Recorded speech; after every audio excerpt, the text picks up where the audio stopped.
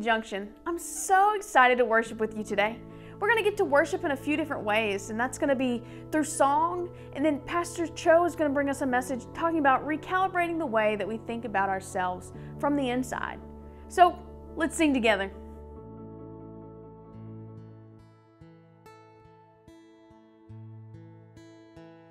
How great the chasm that lay between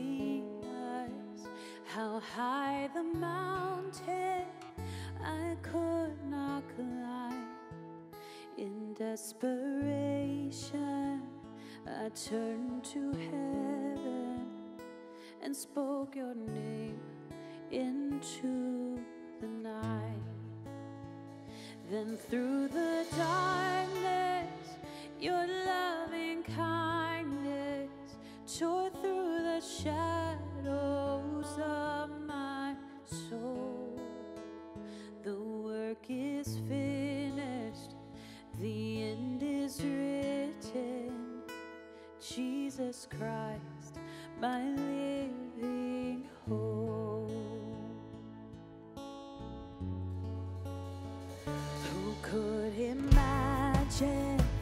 So great a mercy, what heart could fathom such boundless grace?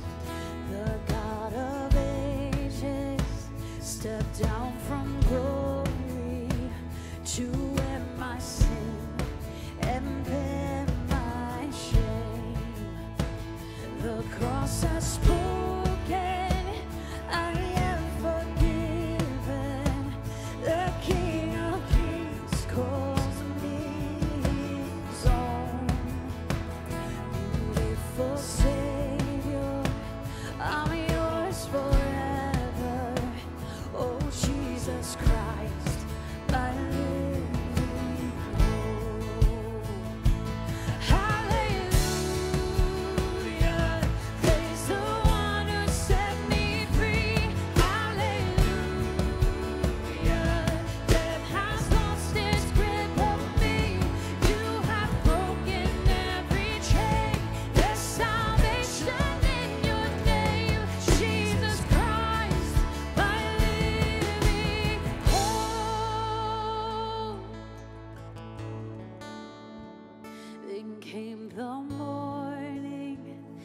See. sea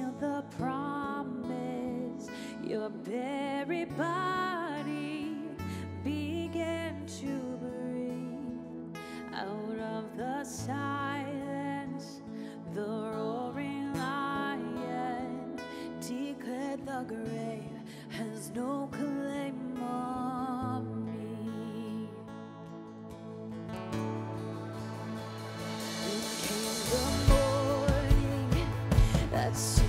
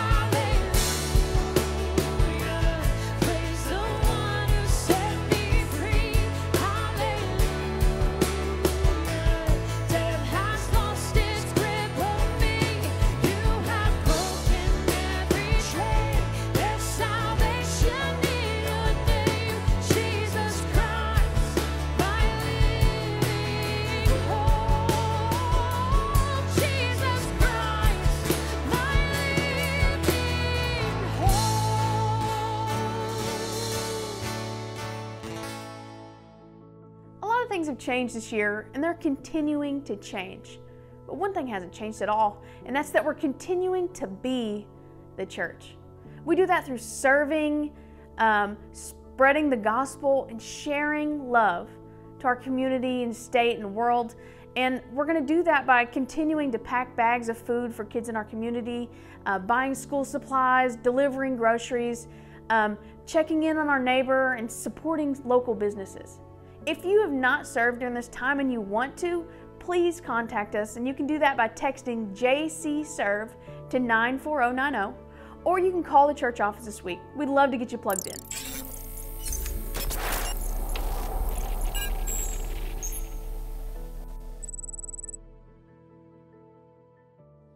Welcome to church. We're excited you joined us, and today we're going to continue in our sermon series on recalibrate. And this week we're going to recalibrate ourselves and we're going to focus inwardly just a little bit. And this is something I, I think that's affecting a lot of people, and that's guilt. Uh, guilt is one of those things that can really cripple us. It, it can it can really cause the joy of our life to be eroded. It can cause us to be prevented from achieving our dreams.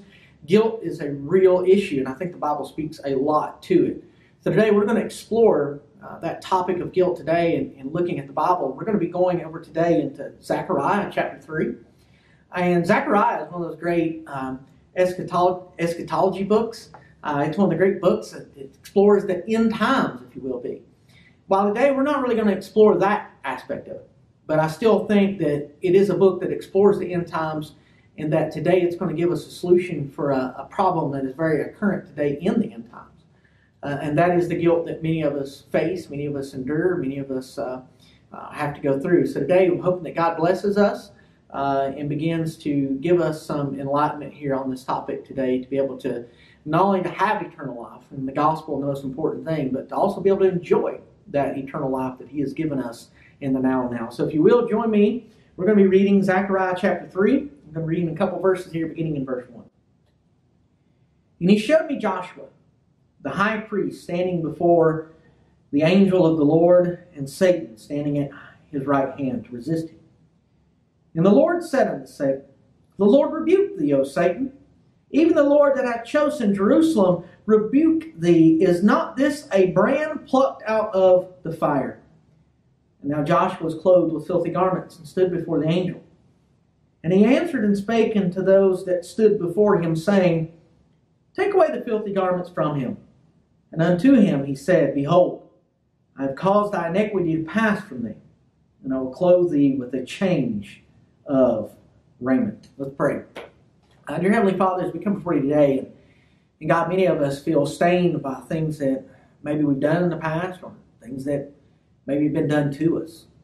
So, God, today we ask that, Lord, we be set free uh, from the crippling effects of guilt. Uh, that, Lord, today we know that who the Son sets free is free indeed.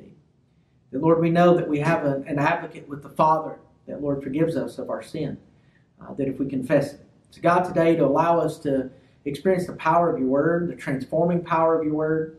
And, God, let everything be for your glory and your honor, and allow the, the great saving message of the gospel to go forth today. We ask it in the mighty name of Jesus. Amen. Now, like, kind of let me give you the, the situation here, and, and basically what you're seeing is the reality of guilt, our, our first point. That what's happening here is, is basically a, an image is being painted. And this image of being is being painted and portrayed here is almost the, it's the supreme court of the universe, if you will be. This is the highest court there is. And you have God that is sitting there residing as the chief justice, if you will be. And you have Joshua, an Old Testament saint, if you remember, that took over after Moses and leading the children on into the promised land. And Joshua here is that high priest, and the high priest was supposed to have something on uh, of linen. It was pure, it was white. I mean, it was perfect, it was indistinguishable. I mean, it was impeccable. And then you have Satan.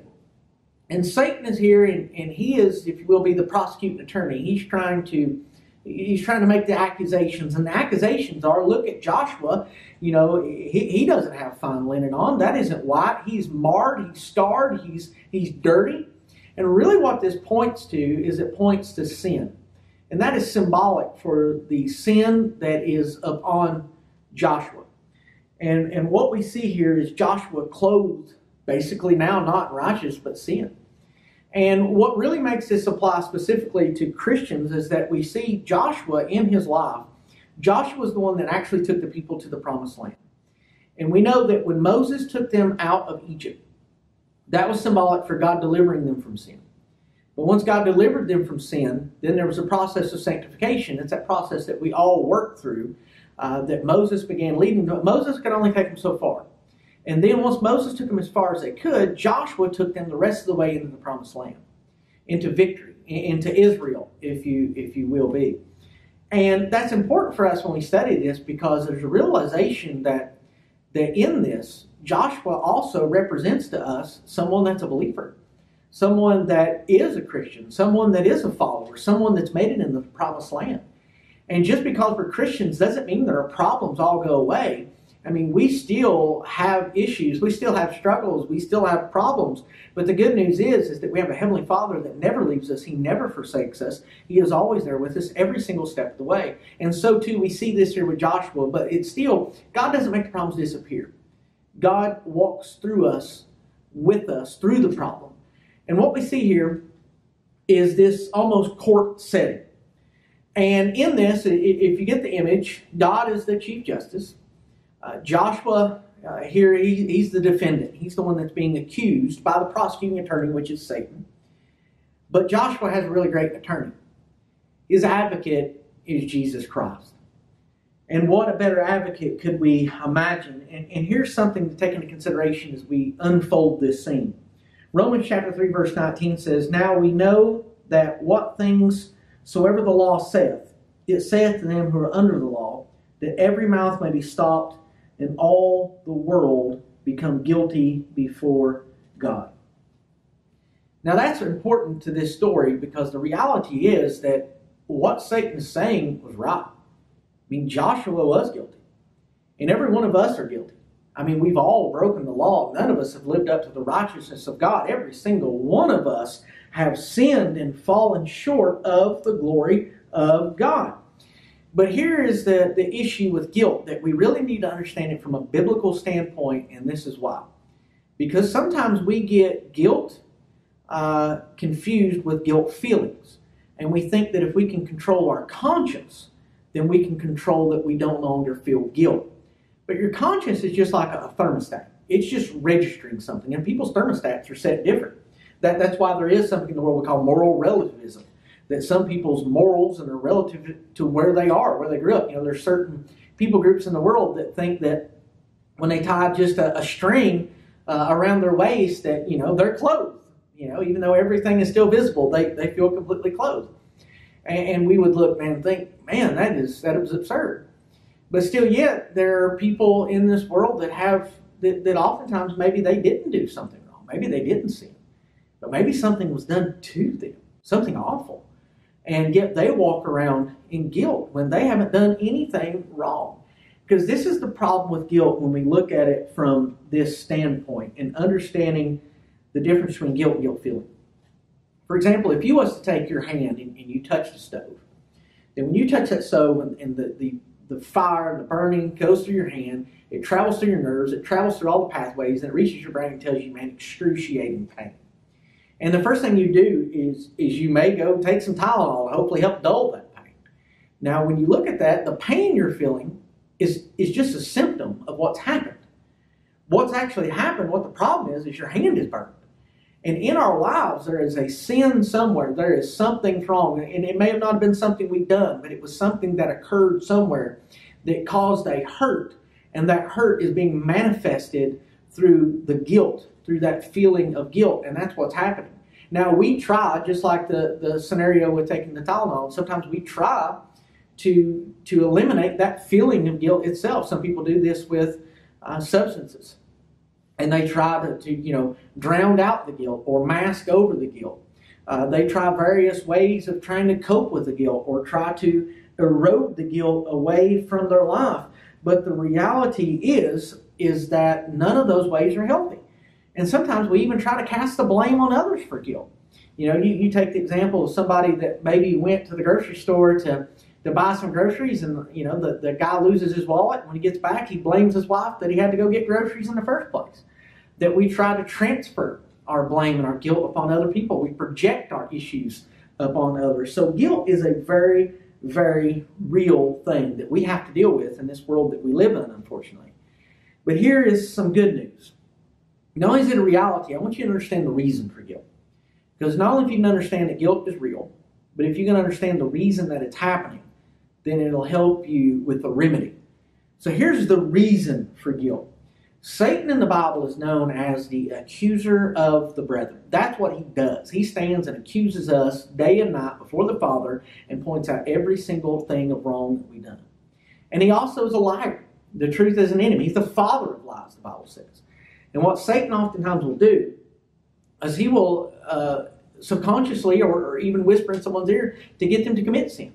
And he'll even say the lie that nobody will ever find it out. It'll be covered up. But the reality is, as soon as Satan can get his little claws in someone and can get them to sin, can get them to do something, Satan doesn't want to hide it. Satan wants to shine a light on it. He wants it to be known because Satan wants you crippled then from that. Because then, you know, if you're a Christian and you fall, you stumble, then he wants to point it out and say, Look who you thought you were. You're nothing. You're not a child of God. No one loves you. And he tries to, what he tries to do is he tries to, if he can't take your salvation, then what Satan tries to do is he tries to eliminate any uh, ability that you have to enjoy your salvation or to walk into the power of your salvation. Because Satan, what he desires to do, therefore, then, is to cripple us. He desires to stop us from being able to be used by God. If you remember, even Judas in the Bible, what Judas did was terrible. And if you remember, you know, Satan had, had come upon him and he betrayed the Lord Jesus Christ. And what happened is he was so ridden with guilt that he went then and took his own life because that was the power of the effects that guilt had on his life. Now, I do want us to understand one thing, though, that there is a, a great divide of difference in the Bible between uh, guilt and conviction. These are two completely different things. Because when we do something wrong as a Christian, it should convict us. Uh, and when it convicts us, there is the need to confess that sin uh, and to ask for forgiveness of that sin. And, and the thing about Holy Spirit conviction is it will convict you specifically of what you've done, but it won't just convict you, it will communicate to you what needs to be done to remedy that. Whether it's a, a reconciliation, asking for forgiveness, whether it's making something right, you know, uh, whether it's restoring something, but it will do it. And once you are submissive to that, and you say, Lord, I have sinned, uh, I will fix this, and you resolve this, then it's done. It's over. And God does what was sin, He casts it as far as the east is to the west. God forgives your sins, and then He forgets your sins, and He restores you. God doesn't hold those over your head at a later, later date that He can you bring them back out, so to speak. He does not do that. It's gone. But demonic condemnation, that's why we point out the difference between conviction and condemnation. Condemnation is a form of guilt. And what happens with guilt is guilt begins to weigh upon you and a feeling that you can never get rid of it. That you're doomed, there's no uh, repairing it, it's irreconcilable, it's unredeemable, uh, that it's a lost cause, and that there's no hope. And that's what Satan desires because he desires to use it to cripple us. Uh, the first thing Satan desires to use that for is people that way they never get saved. That they feel unlovable, they don't think anybody will ever love them, that anybody could ever forgive them, that they could ever accomplish anything. And he tries to plant those seeds in people to where they never come to the Lord Jesus Christ and, and experience His forgiveness, His love, His redemption, His restoration, and the fact that, that we're more than conquerors through Him and that we walk in the power of the Spirit, and then our weakness, His strength's made perfect. And then the other thing Satan does, if he can't win that battle, that's his first front that he tries to win, is that if he can't win that battle, the next thing he does is if there are those that are Christians, he gets them to doubt their salvation or if he doesn't if they're not doubting their salvation to think that god really doesn't love them or they've lost it or or they've uh, uh, somehow damaged it and now they're damaged goods and god will never love them again because they've betrayed god or they've done this and he attempts to get you to stray as far away from god as possible because that's satan's trick is that if he can't one take away your salvation then two he'll get you to where you can't enjoy your salvation or you can't know your salvation and walk in and experiencing the blessings thereof. So, what's the remedy? We understand that there is the reality of guilt, that there is the reason for guilt, it's Satan. But what's the remedy? I mean, how can we fix it? If you're burdened down with guilt, I mean, how can you fix that guilt? Now, I will say that, you know, we do need to examine this. We need to use wisdom because sometimes there's things that is wrong with us that we need to go see a, a medical doctor for because that there can be imbalances and, and chemical deficiencies or chemical imbalances. And, and God's given that wisdom. You know, all wisdom's from God. Every good and perfect gift is from God. And God gives us doctors. And He gives us doctors and He blesses them with the wisdom, and God works through them to grant healing in our bodies. So, one, there are situations where sometimes we need to go see uh, a medical professional and we need to get help and be treated. It- It's the same way as if, you know, if you have high blood pressure and you take a blood pressure pill to lower your, your blood pressure, it's the same way if there's a, a sometimes a, a chemical that is causing a certain reaction that's making you unhealthy in a mental capacity that you take something to right and correct that. It's no different. But then there's also the spiritual aspect of it. And the spiritual aspect of it is that we aren't to live in condemnation. But yet there is no condemnation for those that are in Christ. That we understand that when we fall, there is conviction, but we have freedom found in Jesus Christ. And who removes that? Jesus Christ. Because if we go back to this illustration it's being used in Zechariah, this is uh, one of the eschatology scriptures. This is one of the great end times passages. But we're not specifically looking at it for the end time, but we're looking at it for a great problem that's in the end time. Is that I, I want you to see the courtroom here again. Here's God the judge, and then there's Joshua. And nobody's disputing that Joshua is not dirty. I mean, that's not being debated here, that's not being argued, it's not being discussed. The reality of it is Joshua has some dirt on his clothes. But all of us do. I mean, there's none of us that don't have something in our closet, some dirt on our hands somewhere. I mean, as long as we're in this flesh, I mean, we're never able to live to perfection. We just can't do it. I mean, that's part of the problem of being in this flesh and living in a cursed world is that we can't live to the expectation that God has. That's why we need His salvation so much. That's why we need His forgiveness so much. That's why we need His redemption. That's why we're so thankful that we praise Him and sing how glorious His mighty name is because He redeems us, He loves us, He forgives us, and He continually corrects us and brings course of action to get us back on the path to Him. But I want you to see this passage here. When it says in verse 2, it says, The Lord rebuke thee, O Satan, even the Lord that hath chosen Jerusalem, rebuke thee. Is not this a brand plucked out of the fire? Now, the person speaking here is at least a forerunner of Jesus Christ. Uh, this is a person that is at least a, a prefigure of Christ. And I want us to understand this Bible verse that occurs in 1 John chapter 2, verse 1. It says, My little children, my little children, which he's calling out to the people of God, my little children. He says, These things I write unto you that ye sin not.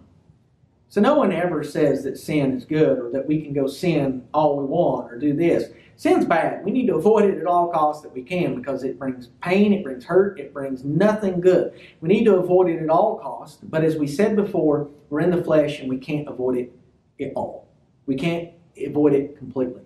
So I love the rest of this passage when it says, My little children, these things are write to you, that you sin not. But here's the rest of it. Listen to this. And if any man sin, we have an advocate with the Father. That if any man sin, we have an advocate with the Father. And he is the propitiation, that is, he is the satisfaction for our sins, and not for ours only, but for the sins of the entire world. So that's good news. Therefore, those that are in Christ, there is no longer condemnation. Now, when we sin, we're convicted by it, we confess from it, we cleanse ourselves, but then now we walk through. And now we're okay. Now we're back rightly restored. That is the good news, is that Jesus Christ took our guilt and shame. When Jesus Christ died, He didn't just give us eternal life. I mean, that's a, a byproduct of what He did. And it's an amazing and it's a great thing He did. But that ain't all He did. Because He took our shame, He took our humiliation, He took our downfalls, He took our shortcomings, and He took our guilt.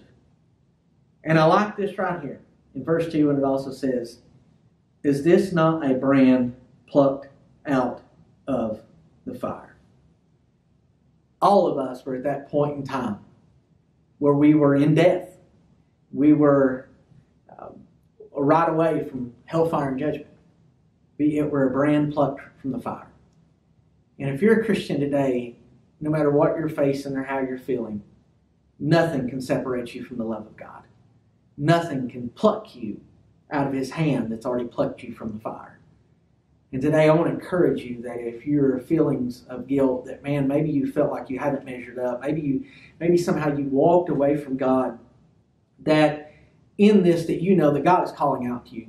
That, that God wants to do a work in your life, that God loves you, that God still desires relationship with you, that God is not finished with you, that this is the next chapter of your life where God's going to begin to write something amazing if you'll just come to Him and confess Him. If you'll confess Him, Christ will cleanse you.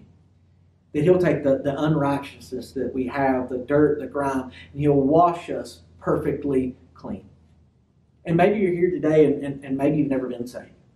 Maybe you've never called upon the name of Christ, but maybe you can realize today through this message that Satan has been feeding you a pack of lies. That you are worthy. That you are loved. That God does care about you. That God will forgive you. That God will redeem you. That you can have eternal life. That you are loved. You are accepted. That today, if you'll confess your sins and you'll believe on Him, that something amazing will happen in your life. And that one, you will have now a right relationship with God through Jesus Christ. You'll have eternal life, but also have the Holy Spirit living and residing inside of you. What an amazing thing that is. So I want to encourage you today that when guilt comes knocking and Satan comes whispering those doubts up in your ears, that when he reminds you of your past, you can remind him of his future. That one day, death, hell, and the grave have all been defeated. And one day we will be with our Heavenly Father and rejoicing with him. Would you join me in a word of prayer? Dear Heavenly Father, we just thank you for this day. God, we thank you that we don't have to live with guilt. We don't have to live with shame. That, Lord, we can trust in you, and that, Lord, we know that you are faithful and just to forgive us. And that, Lord, while we avoid sin, we know that, Lord, sometimes it happens. God, we thank you that you're an advocate for us, faithful and just to forgive us of our sins. God, today, if there's any out here that, Lord, need to receive salvation, that, Lord, they might call upon your name, they might confess they're a sinner, and they might believe that you died upon the cross, and, Lord, three days later you rose out of the grave. And God, I pray today that if they do, that they reach out to us, that, Lord, we can get them resources, we can pray for them, and we can welcome them into the family of God. Lord, we thank you and I ask it all in the mighty name of Jesus. When we can't or have a hard time forgiving ourselves, God already has forgiven us. He shows us grace and mercy every day. He knows everything you've ever done and He loves you anyways. There's nothing that can stop you from the love of God. He's going to continue to pour out His grace and mercy. But can you give yourself that same grace and come to Him? He has a plan unique just for you. He made it just for you because He knows that you are worth it. If you need prayer, please contact us. If you'd like to accept Jesus or you want to know more about Jesus, you can text JC Saves to 94090. And if you'd like to continue to support the ministry here at Junction, you can give online at junction.ky, and there's an online giving button right on the homepage. We love you and we hope to see you next week.